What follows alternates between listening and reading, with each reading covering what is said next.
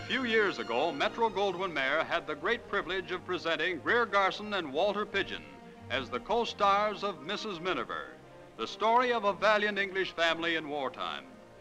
Based on an enormously popular book of the month, Mrs. Miniver was given, amongst other honors, six major Academy Awards.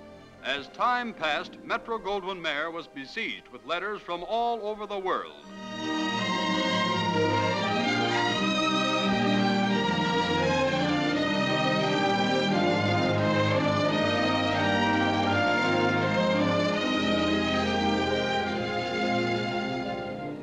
The happy answer to those flattering letters is in the glorious sequel titled The Miniver Story. All the beauty and warmth, all the humor and drama of the original are in The Miniver Story.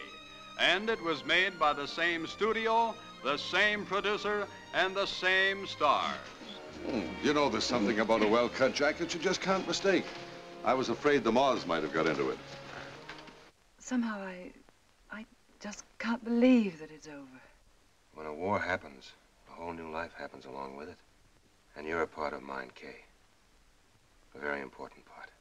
Why? Why did you have to interfere?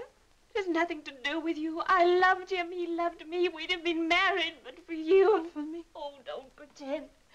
Please don't pretend you were there today. You went to see him.